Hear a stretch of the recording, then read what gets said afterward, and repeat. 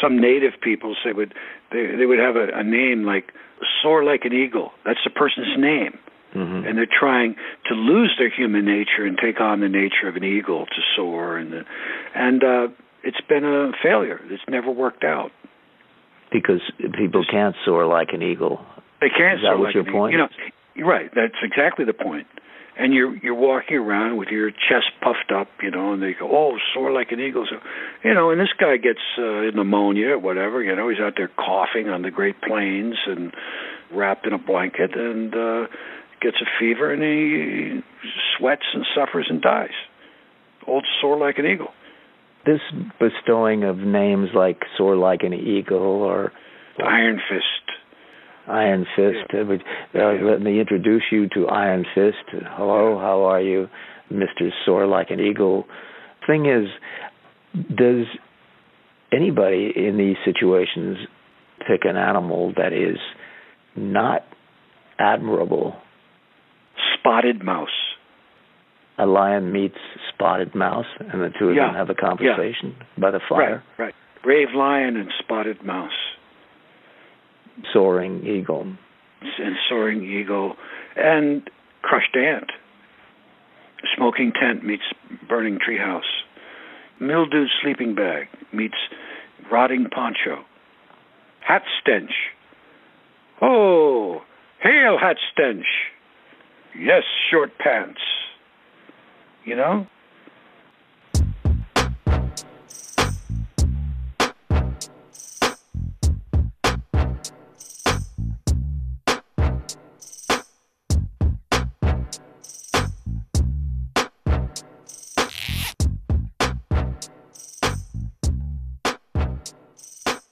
In this episode of Travels Across America, we're visiting Sandhill, a town in Georgia that's received considerable national attention due to a lethal combination of human failure and natural catastrophe, which has led to a recall election challenging the leadership of the mayor, Solomon Hicks, who has been blamed for virtually everything that has gone wrong here in Sandhill.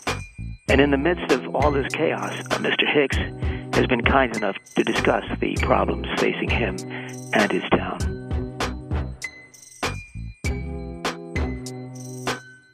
What they're complaining about is the crumbling infrastructure of the town with its potholes and craters that make driving very unsettling.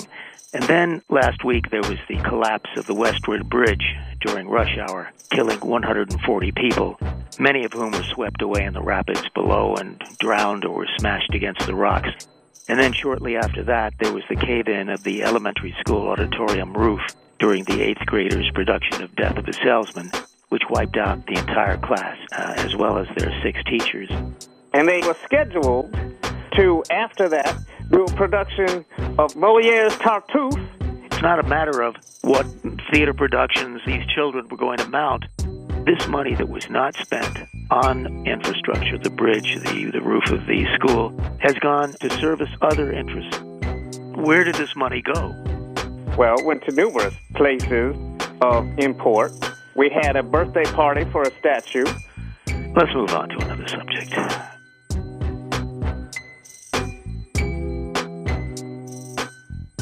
For three months now, you've been unable to come to a resolution of the garbage strike, which has caused just an enormous pileup of trash uh, on the streets and in the alleys and the public parks, resulting in uh, an infestation of rats and bubonic plague that has spread throughout the city. Uh, how are you dealing with this disease? And, and don't you think you should have resolved this strike by now?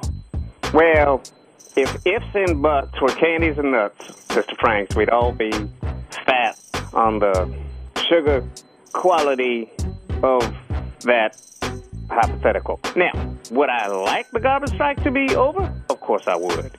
It's not that easy. There are garbage strikes all over the world, Mr. Franks. Some get resolved in an hour, some get resolved in about three and a half months. The problem with this one is it has caused terrible catastrophe to the town, and if you do not address this problem, it will only get worse. More people will get sick. Uh, which is why we're doing everything we can in our power to open the world's biggest amusement park. Now, what does that have to do with the problems that you're facing? Well, one, it takes people's minds off of uh, the pile of trash that is accumulating. Although we have found work for the indigenous community here, going through the trash and finding recyclables and whatnot. So we are mindful of the environment.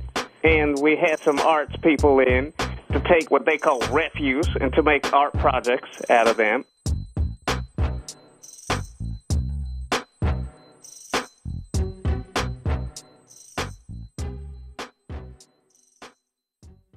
I'm told that Lake Minnewaska was once a beautiful crystalline blue lake where families would go to picnic and swim and sunbathe and relax. But now this lake has been polluted, resulting uh, in the deformation and death of fish. You can see them floating on the surface of the water. We were over there just a little while ago.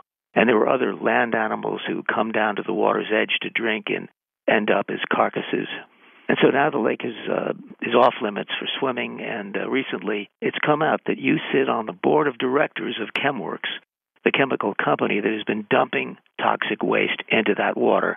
How do you explain that? Quite easily. Um, ChemWorks is always giving back to the community, and we made a solid contribution to the fencing around the lake, to the signage, to the locks, to the security people who stand guard to make sure nobody gets sick or hurt. That is one of the ways ChemWorks is giving back.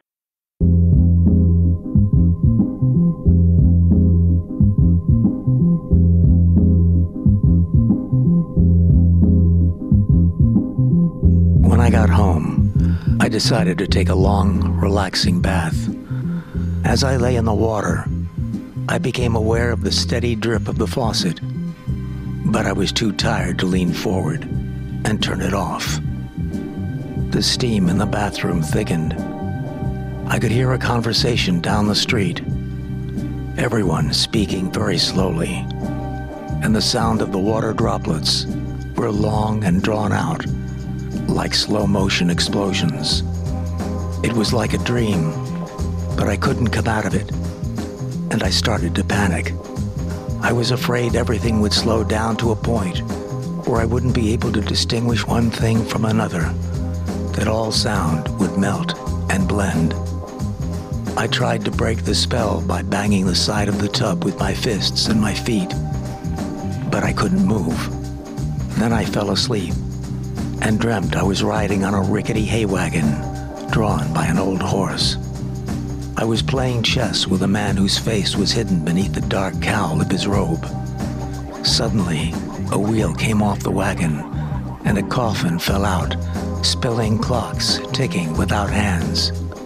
And I watched legions of professionally maimed and disfigured beggars follow tourists to their hotels and wait underneath their cars.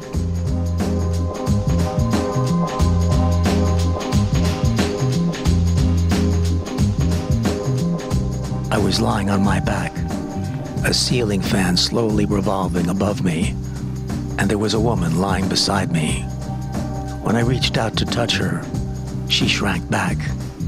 Then she walked barefoot out onto the balcony overlooking the city at night, and holding a glass of brandy, turned the snifter in her hand. And then she suddenly tore at her gown, smeared ashes on her forehead, and cried out, where is God?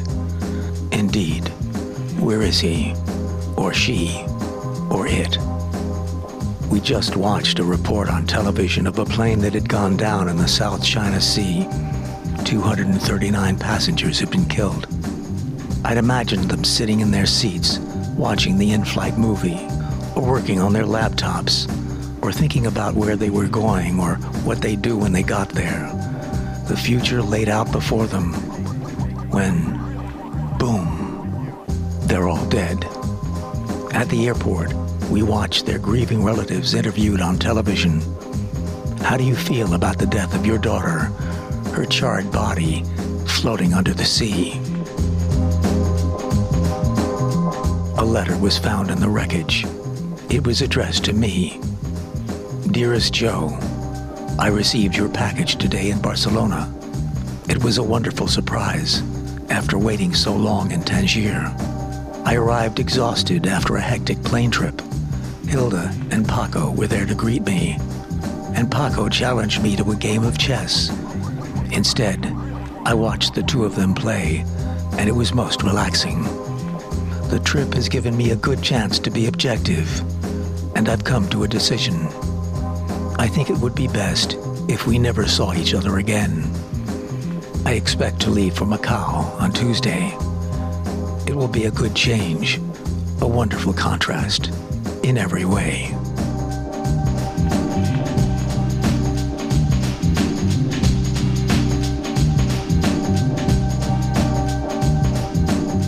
I remember what it was like when we were young the sweetness of her breath, the softness of her hair, the music of her laughter the clarity of her eyes, and the eager yearning with which she introduced herself to life's great mysteries.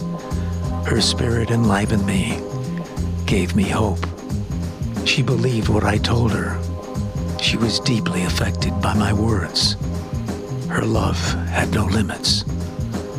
We moved in together.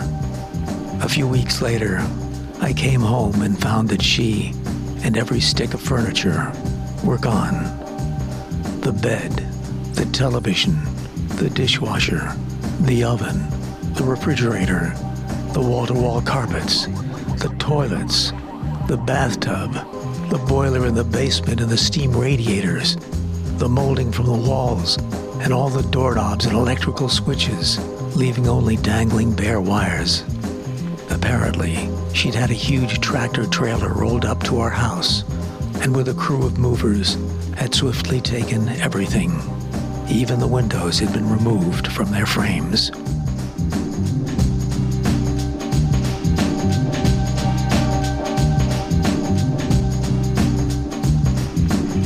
You can sing the blues on the midnight special to Memphis, but you can't sing the blues on the 542 to Westport, overturned and burning in a ravine.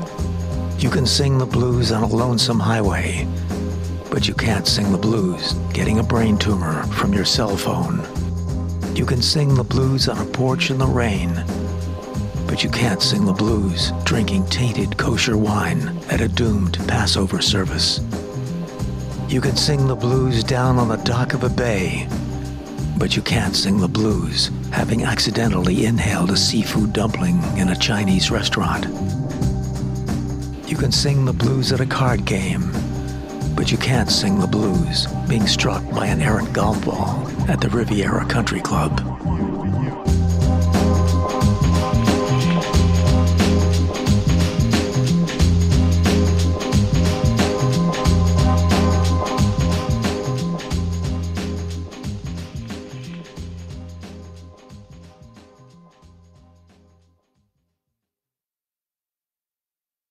Here's an interesting fact about one of the Amazonian tribes, you know, who, mm-hmm. who have basically have nothing and live off the wilderness there in the in the rainforests and jungles of the Amazon, and mm-hmm. and they've been doing it for you know millennia, just for thousands of years, living the same way. They're living on the grubs and the small animals and and these um, particular kinds of trees that grow. They cut them down and then they they scoop out the inside of the tree and they pound it into a and it's it's this white pulp and they mm. bake it and it's kind of like a like a bread kind of uh, uh, mm. meal and they uh, you know they roll over these logs and they have. Uh, whatever they are, those larvae, you know, and they collect those, and those are uh, delicacies, mm-hmm. and all kinds of uh, bugs and crickets and things like that. The rich people come, people who you know have luxurious homes back uh, in the mm-hmm. civilized Silicon world, Valley. enjoying all these advantages in life.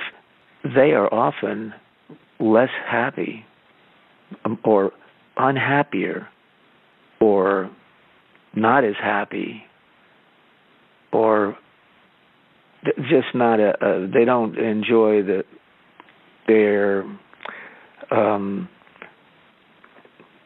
their lives are unfulfilling. And what right do they have to be going to psychologists and taking antidepressants and sitting at home with their heads in their hands, grieving over the misery of their lives? it just seems so absurd.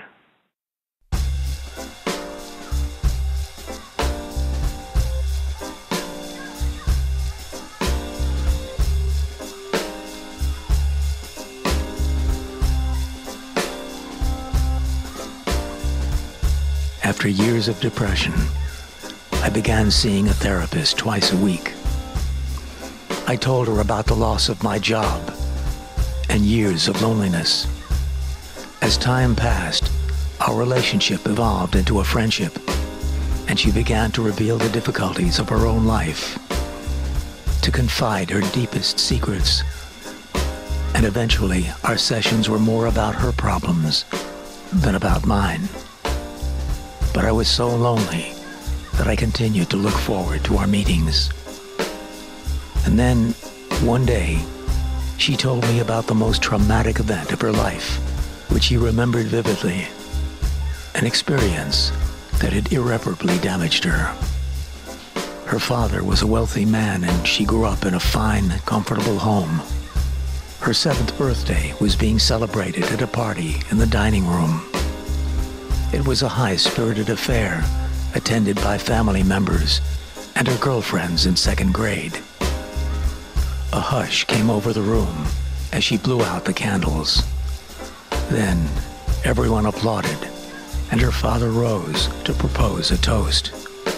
He held up his glass and was about to speak when he turned ashen, grasped his left shoulder, overturned his glass, and spilled wine all over her birthday dress before collapsing on the floor.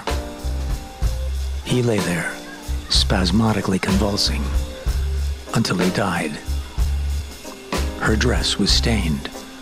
The party was ruined. She ran up to her room crying and locked the door behind her. Her father had done it on purpose. It was her first, but not her last experience with an unreliable man. The next morning, she called me and abruptly broke off the therapy, citing the Hippocratic Oath do no harm. She said it would be inappropriate for us to continue therapy and assured me it wasn't my fault, that I shouldn't blame myself.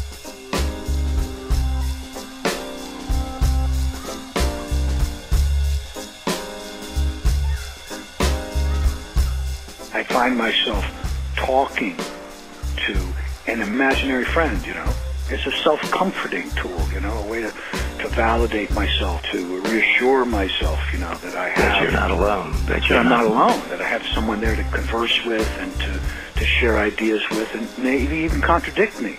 And I imagine what they're saying back to me, and and I, I then I'll agree with them. I'll say, yes, of course, you're right, and I, I was completely off base on that. And I notice people looking at me as I'm having this conversation. I think they recognize that I'm just talking to myself.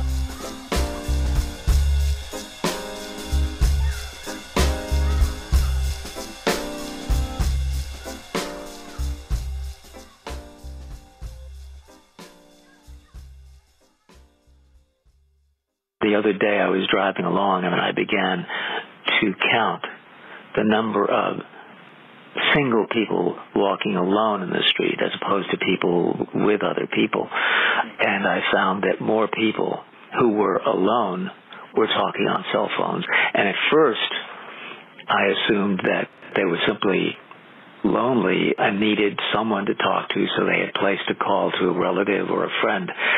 But then it occurred to me that these people were trying to impress the rest of us, including me in my car driving by, that they had some important business to transact as I turned the corner and uh, ran over somebody else because I was watching the person with the cell phone.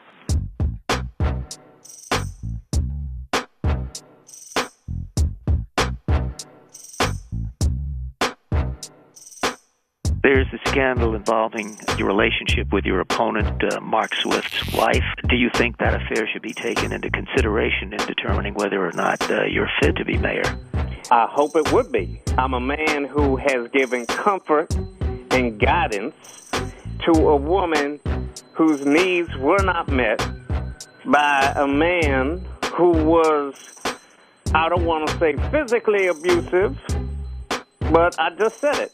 But take it back. But don't edit it out. But do put it in there with the context of me saying I don't want to say it. But I did say it. So there it is. It's out in the open. Although I spiritually take it back. But don't take it back. But again, in the context of I wish it wouldn't have to be said. But it was said. I wish it wasn't me, but it was. So take that with a, a grain of salt and move on. What about considering Mark Swift himself? The man has been uh, cuckolded, uh, humiliated in the town. That's probably one of the reasons that uh, he uh, is running against you. Now, don't forget, he brought this upon himself. Well, how did your affair even happen? Well, I ran into her, okay? We were in the waiting area of the restrooms at uh, the country club, and I ran into her, and she seemed to be crying. So I tended to her.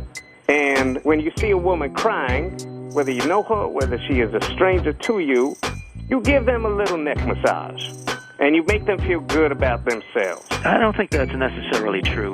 I don't think every man who sees a woman crying immediately gives her a neck massage. Well, maybe that's the problem with America. As a result of uh, this relationship that you had with uh, Mr. Swift's wife, you have been the object of a campaign of uh, attack ads paid for by uh, Mark Swift. Smears, I call them, Mr. Frank. Well, I, I, tend to agree with you. They have been very ugly, and uh, they seem to air every three or four minutes uh, on television. You can't get away from them. And it must be difficult to see yourself repeatedly painted in such a, a loathsome light. Which of these ads do you find most annoying? The one in particular that's animated and he has me morph into a rodeo clown who's in a toilet bowl laughing and playing. I didn't like that one.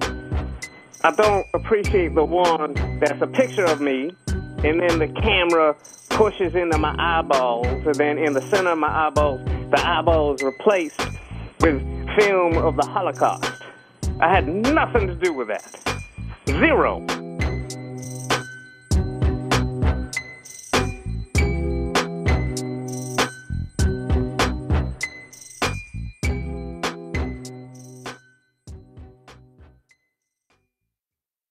I'm looking for a small, screw top plastic container. I believe I left it on my desk, next to my notebooks beside a cup of coffee and a Danish. But I may have left it in the Fairmont Hotel's bathroom because Dr. Nierenberg at the food table, as I was eating some kasha with kiwi fruit salad and pickled Vidalia onions, said he required a urine sample immediately, and I was directed to follow the wrought iron fence facing the small gazebo at the end of the gravel path.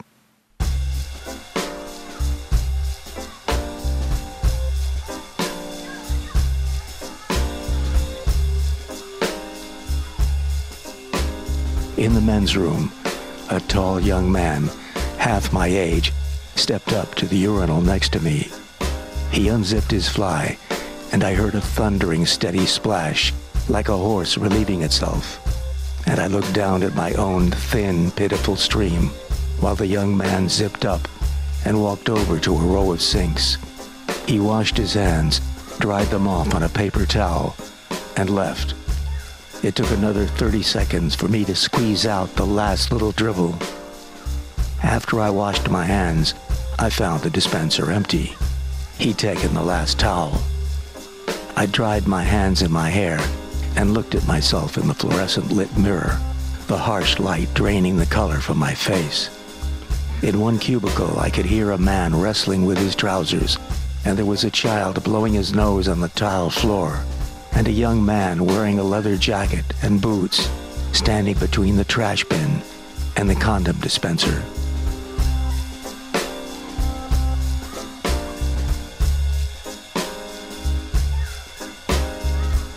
When I was five, my father gave me two silver dollars. I went out into the front yard to play with them. I dug a hole, put them into it, covered them with dirt, and dug them up. I made believe they were buried treasure. A woman approached up the block. She asked me what I was doing. I told her I just found two silver dollars buried under the ground. The woman said they belonged to her. She snatched them away and walked off. I was confused. I'd been so absorbed in my fantasy that I didn't know what to believe. An ambulance passed. I heard the distant wail of an old woman. It began to rain.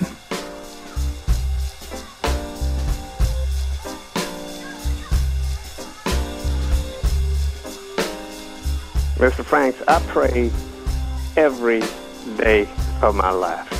I pray for you. I pray for me. I pray for my family. I pray for loved ones. I pray for people who don't pray. Well, to whom do you pray? Well, I pray to God, Mr. Frank. I pray to God. Well, who, who do you pray to? That's my business.